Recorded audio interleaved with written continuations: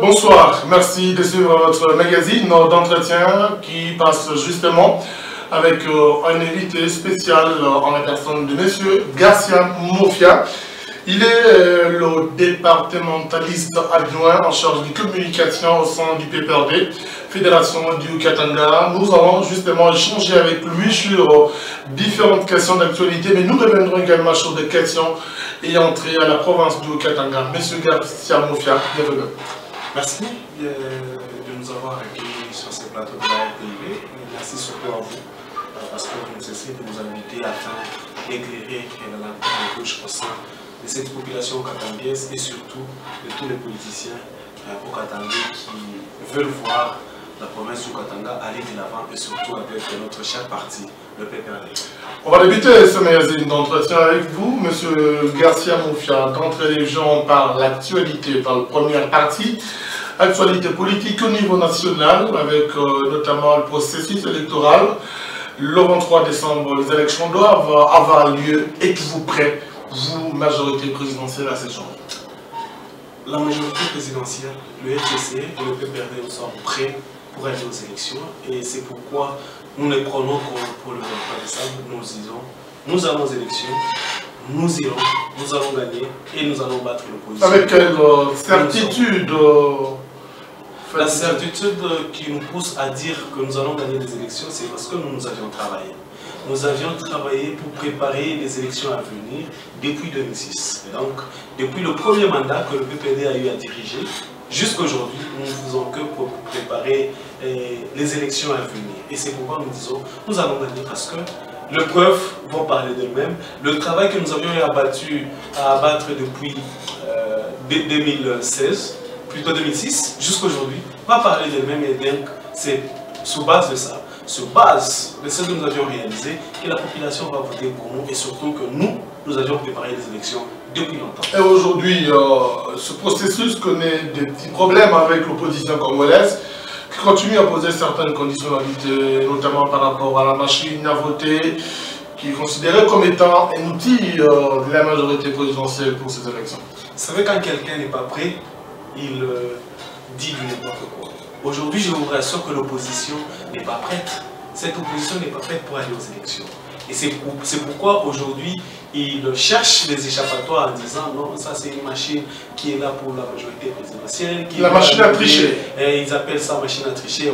Or, moi, au lieu d'appeler ça machine à voter, j'appelle ça machine à imprimer. Parce que ça, ça va juste imprimer votre bulletin de vote. C'est vous qui allez écrire le numéro de la personne que vous voulez. C'est vous qui allez cliquer sur la photo de la personne que vous voulez. Et juste après que vous ayez cliqué, la machine va vous imprimer euh, euh, le bulletin de vote et dès que, dès que le bulletin de vote est imprimé, vous regardez vous-même et vous allez maintenant mettre ça dans l'isoloir. Et donc aujourd'hui, euh, les personnes qui ne sont pas prêtes, l'opposition en soi, est en train de décrier cela parce qu'ils savent que peu importe ce qu'ils auront à dire à la population, la population va leur euh, sanctionner négativement et sanctionner positivement la majorité présidentielle. Pourquoi ne pas trouver le consensus par rapport à l'utilisation de cette machine à voter pour ne pas permettre aux uns aux autres de dire nous avons perdu à cause de ceci ou de cela.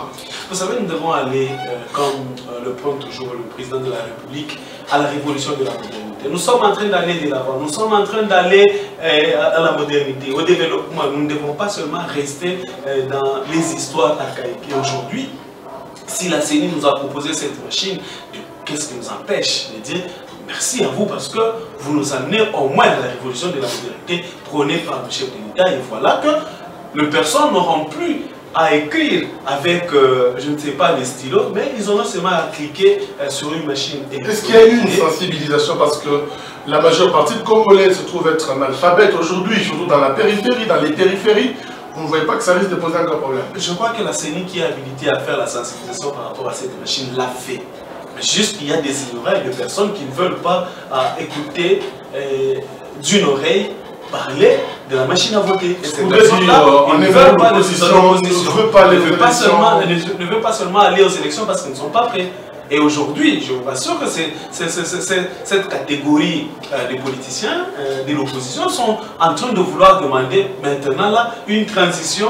Et cette transition qui va nous amener, je ne sais pas, on leur dit, nous, plus question de, transition, plus question de dialogue, nous allons aux élections le 23 décembre parce que nous nous sommes prêts. Et si eux ne sont pas prêts, malheur à eux parce que nous, nous allons le battre et Pourtant, le président de la a dit si euh, ces divergences persistent et qu'on veut qu'il y ait des élections avec le bulletin, on va reporter parce qu'au 23 décembre, sa machine à voter, pas d'élection. Mais nous aussi, nous nous disons, nous ne voulons pas que la CNI puisse reporter. Est-ce que reporter ces élections pour la, euh, le gain des causes de qui? Parce que, à qui ça va profiter? À qui ça va profiter? À qui ça va profiter? Parce que avant, l'opposition décriait que non, la majorité présidentielle ne voulait pas l'organisation des élections ne voulait pas organiser les élections. Le président Kabila ne voulait pas organiser les élections. Le président Kabila, Kabila veut s'attarder au pouvoir. Le président Kabila veut rester au pouvoir, veut s'accrocher au pouvoir. Et aujourd'hui qu'il l'a dit, je vais respecter la Constitution, il l'a fait, il n'est plus candidat, les gens commencent à décrier, oh nous ne voulons plus de la machine à voter, nous ne voulons plus des élections, ça, ceci, ça, cela. C'est parce que ces gens-là, ils ont passé leur temps à dire de fausseté qu'à se préparer. Et le PPRD, le FCC, la majorité, s'est préparé pour ces élections. Et voilà que nous, nous sommes prêts pour aller aux élections, nous sommes prêts pour battre l'opposition et nous sommes prêts pour conserver ce pouvoir. L'opposition congolaise se retrouvée à deux reprises, d'abord à Bruxelles, ensuite en Afrique du Sud avec euh, l'ANC, parti au pouvoir en République sud-africaine, ensemble. Ils ont tablé sur le processus électoral en RDC, les élections qu'ils ont, qu'ils veulent être apaisées inclusive. Comment voyez-vous ce rapprochement entre l'ANC de Cyril Ramaphosa avec euh, les opposants congolais? Une chose, une chose que l'opposition doit savoir, c'est que les deux mots qu'ils utilisent, ce sont les deux mots que le président de la République n'a cessé d'utiliser depuis 2011. Je veux des élections inclusives, apaisées. Et donc, ce mot-là appartient au président de la République. Ce rapprochement, aller en Belgique, aller en Afrique du Sud, je crois que le président de la République l'a encore répété. Nous avions acquis l'indépendance avec Lumumba. Nous avions acquis l'indépendance avec le père de l'indépendance. Aujourd'hui, nous ne pouvons plus encore revendre cette indépendance. Nous ne voulons plus de dictats, nous ne voulons plus quoi que ce soit.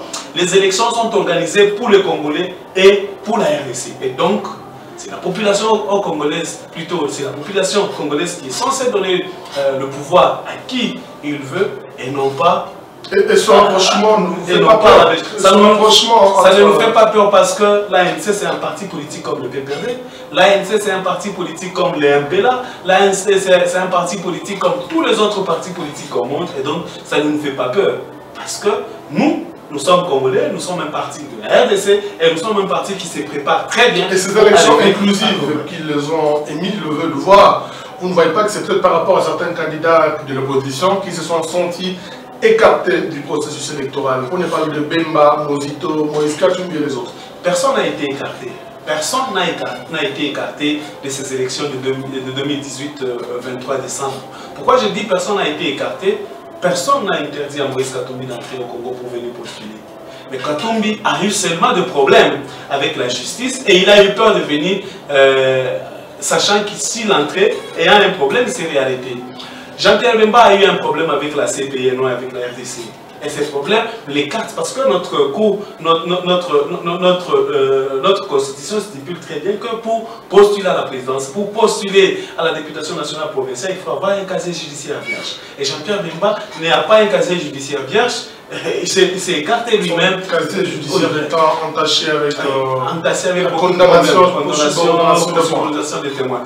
L'autre côté, il y a Mouzito qui a été écarté parce que seulement il, il est allé déposer sa candidature n'ayant pas l'accord de son parti politique. Et donc, étant dans un parti politique, il est allé postuler euh, sur, euh, un autre label. Sur, sur, un autre label au moment où il était euh, du, Palou. Et le Palou ne lui a pas donné l'autorisation. Il devait être écarté et c'est la loi qui, qui stipule pour postuler comme indépendant. Il faut ceci, ceci, ceci. Pour postuler pour sur un autre label, il faut avoir démissionné dans son parti politique. Mais lui, il est allé le faire sans l'aval de son parti politique. Et voilà qu'il a été écarté. Donc, personne n'a été écarté et le PPRD n'y est pour rien, la CENI n'y est pour rien, c'est la loi. L'opposition parle d'une manipulation de la justice dans la majorité. Est-ce que le fait d'écarter certains candidats qui nous est-ce qu'en 2003, quand on était en train de rédiger la constitution de la, de la RDC, le PPRD n'y était pas là Le PPRD n'était même pas représenté parce que le PPRD en ce moment-là venait d'être créé. Aujourd'hui, Jean-Pierre Bemba écarté parce qu'il euh, n'a pas un casier judiciaire. Bien, il a un problème, euh, il a été condamné pour, pour subordination des témoins. Est-ce que c'est la justice congolaise qui l'a condamné? Non. La subordination des témoins qui pose aujourd'hui problème avec plusieurs interprétations. On dit même qu'il euh, il ne s'agit pas en réalité de la corruption, ce serait des choses créées de toutes pièces la majorité pour les cartes. Je, n'ai pas de commentaires à y mettre et je demanderai seulement à tout celui qui nous suit d'aller consulter son dictionnaire. Et dès qu'il consultera son dictionnaire, il saura que euh, la subordination, c'est la tricherie, c'est la corruption. On parle dans la deuxième partie de questions provinciales. L'état de santé de la province, en tant qu'analyste, quel est l'état que vous, vous dressez en tant que tel de la situation d'abord sécuritaire de la province de Okatanga en ce jour? En ce jour, la situation sécuritaire est calme, elle est bonne hormis quelques foyers de sécurité, parce que vous le savez très bien, comme monde entier, on ne termine jamais l'insécurité, mais on diminue le taux de l'insécurité sensiblement. Et voilà que depuis l'arrivée de son Excellence Pandé Kapopo, que moi j'appelle aujourd'hui vraiment euh, gouverneur euh, céleste, le gouverneur euh, que tout le monde attendait, le taux d'insécurité a baissé de 93 aujourd'hui à 8 par mois. Et donc, félicitations à notre gouverneur, il est en train d'abattre un très bon travail. Il Mais dans les périphéries, il y a des cas qui sont, comme, C'est comme ça que j'ai dit, hormis quelques foyers d'insécurité qui se posent, surtout dans la ville de Mubashi. Et donc j'ai dit même que l'insécurité ne peut jamais être euh, éradiquée totalement, mais le réduire sensiblement, et c'est ce que le gouverneur est en train de le faire. Parce qu'aujourd'hui, même si vous allez dans la, dans, la, dans, la ville de New York, très bien sécurisée, à Paris, très bien sécurisée, il ne manque jamais de l'insécurité tous les jours. Et pour faire face à cette insécurité, est-ce qu'il y a des mécanismes qui peuvent être envisagés dans le sens d'écoute de la population pour savoir ce qu'elle pense et également faire face à certains autres euh, problèmes qu'elle est en train de ressentir. Vous savez, euh, le gouverneur Pandekapopo, euh, c'est un gouverneur qui est toujours à l'écoute de sa population. C'est un gouverneur qui aime très bien sa province de Haut-Katanga. Et aujourd'hui, il a initié une tournée il va tourner toute la province du Okatanga. Quelque chose qui ne s'est jamais fait avec les autres gouverneurs qui sont passés. Parce qu'ils ne sont jamais passés partout. Et aujourd'hui, le gouverneur a commencé par la ville de Lubumbashi. Déjà, le jeudi, hier, il était euh, du côté de la, de où il était à l'écoute de sa population. Il était en train d'écouter sa population dans une rencontre sans tabou. Et le temps d'appeler les gens de la Rouachi, ils vont vous dire que nous avions parlé avec le gouverneur sans tabou nous lui avons dit tout ce qu'il faut. Et sur le champ, les problèmes où le gouverneur pouvait trouver des solutions directes, il a trouvé des solutions directes. Comme la population lui a demandé de réhabiliter l'avenue Loano, il a dit, dans deux jours, l'avenue Loano euh, sera en, pleine réhabilitation. Nous allons quel est l'objectif en soi de cette campagne d'écoute euh, L'objectif en soi, c'est d'écouter la population, avoir le vrai problème euh, que ronge la population. Et surtout cette population vulnérable. Parce que avant, on ne donnait pas le temps à cette population, à cette basse classe de donner ses problèmes. Et aujourd'hui, le gouverneur a dit, j'ai besoin d'écouter cette basse classe-là. Écouter leurs problèmes afin de trouver des solutions définitives à, cette, à, ce problème pour que nous puissions bien avancer. Parce que vous pouvez avancer ici en sachant que non, ce sont seulement le, euh, le, problème que donne le bourgmestre, euh, le problème que donne le maire des villes, le problème que donnent les administrateurs des territoires. Or, il y a de sérieux problèmes au niveau de cette basse classe. Et c'est cette basse classe qui est en train de donner les problèmes et en train de trouver des solutions. Et aujourd'hui, Vendredi, le gouverneur était au niveau de Kampimba. Demain, ça va se poursuivre avec les sept communes de la, de la ville. C'est d'ailleurs à Kampimba où il y a également des questions clés, qui, qui, se posent voilà, en termes de sécurité dans la commune de Kampimba. Et aujourd'hui, ils étaient avec lui, ils ont donné tous les problèmes et le gouverneur a promis de trouver des solutions à tous les problèmes euh, qui rongent la commune de Kampimba, la commune de Larachi. Je demanderai aux autres communes aussi de faire comme ce qu'a fait euh, euh, les, populations de ces deux communes, ça veut dire la commune de Larachi et la commune de la Et après la ville de Mombashi, le gouverneur va entamer une tournée dans les territoires. Et le premier, le, premier territoire qui sera visité, c'est Mitwaba. Après Mitwaba, ça sera Puerto. Après Puerto, ça sera Kasenga, Kasenga, Sakanya. Après Sakanya, Kipushi. Après Kipushi, il ira Kambov. De retour de Kambof, il va visiter la ville d'Elikassi et, il va terminer avec toute la province. Et en ce moment-là, il va faire le bilan de tous les problèmes que la population aura donné et il va trouver des solutions à ça parce qu'il aime le Haut-Katanga, il aime la population katangaise et voilà, il a initié quelque chose que personne, alors personne n'a jamais fait. Mais c'est mon cher, il y a également dans la jeunesse aujourd'hui la question d'emploi. Ça fait plusieurs fois que l'on revient sur cette question lorsqu'on est avec toi pour des entretiens. Cette question épineuse se pose avec... Euh, euh, avec euh, insistance, puisqu'aujourd'hui, s'il y a des jeunes qui se retrouvent euh, délaissés sans emploi, certains seraient même tentés de se mêler à des choses pas correctes qui créent aujourd'hui l'insécurité de la population. Le gouverneur a demandé à tous les jeunes de faire des projets. Dès que tu fais ton non, Même ceux qui n'ont pas étudié, n'ont pas de capacité de projets, par exemple. J'y arrive. Si moi j'ai un projet, de création d'une société, surtout qu'aujourd'hui, maintenant, nous avons le guichet unique pour la création d'une société. Je veux je crée une société et surtout aussi que la sous-traitance, aujourd'hui, est réservée exclusivement aux Congolais. J'ai créé une société que je pars proposer au gouverneur. Il me donne, on nous donne des actions que nous allons commencer à exécuter. Et après cela, je vais engager mes amis, ceux qui n'ont pas étudié, ceux qui n'ont pas fait quoi que ce soit. Je peux créer une société qui engage 20-30 personnes. S'il y en a 30, 70, 80 jeunes qui créent leur société et que chacun pourrait être en mesure d'engager 20, 30, faites 30 fois 70, vous allez voir que nous allons encore diminuer les taux de chômage dans la province du Katanga. Nous allons diminuer le taux de chômage au Congo. Et donc, à nous les jeunes de créer de l'emploi, à nous les jeunes de créer des projets et non pas seulement attendre ce qui viendra de blanc, ce qui viendra du gouvernement, parce que le gouvernement a beaucoup de problèmes à réaliser, le gouvernement a beaucoup de projets à réaliser. Et donc, accompagnons l'autorité de la province, accompagnons notre gouverneur qui nous aime en créant des sociétés, en créant euh, des sous-traitances qui va euh, nous permettre à diminuer sensiblement le taux de chômage. Vous avez parlé de la sous-traitance. Lors de, de, la restitution de la dernière tournée de quatre gouverneurs euh, de l'ex-Katanga. Le gouverneur Pandé qui disait justement le communiqué final de restitution du gouverneur Célestin Pandé est revenu sur euh, la question qui concerne la sous-traitance. Il se peut que certaines entreprises minières n'essaient pas facilement à cette question de sous-traitance qui est exclusivement réservée aux nationaux. Comment résoudre cela? Heureusement que le président de la République, à la dernière conférence, la troisième conférence minière qui s'est tenue à Colosie, a donné une réponse directe et une réponse définitive. Il a dit ceci. Les sous-traitances sont réservées aux Congolais.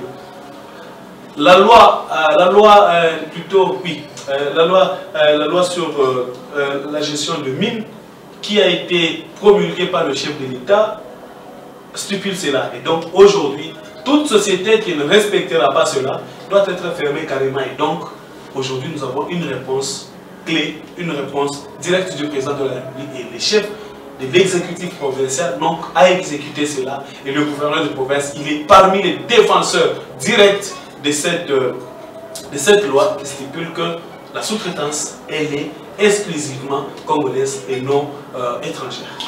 Monsieur Kassamoucha, les deux parties de cet entretien se referment. Qu'est-ce qui doit être dit d'une manière brève par rapport à cette campagne sur l'écoute annoncée par l'autorité provinciale. Je demanderai seulement euh, aux autres qui ne sont pas encore visités euh, de faire le tout, d'aller là que le gouverneur ira pour euh, le, lui dire tout le problème qui range la population et surtout la basse classe. Je demanderai aussi à cette population de faire très confiance à notre président de la République, Joseph Kabila Kabagé, à notre gouverneur Pandeka Popo, qui fait le tout pour que cette population vive en paix. Que cette population vive aussi sur le plan social très bien. Il avait dit à son arrivée, je vais faire le tout de maintenir le prix de sac de farine. Il l'a fait aujourd'hui.